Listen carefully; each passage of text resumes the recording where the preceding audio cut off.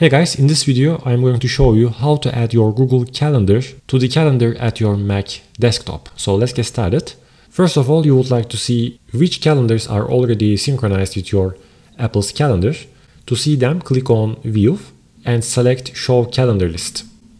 Now here on the left side you can see some options. And after you sign up with your Gmail account, you will also see your Google Calendar somewhere here. To sign up your Gmail account, click on the calendar tab and select accounts. Then it will open this window. Click on add account and select Google. Now Google requires your authentication.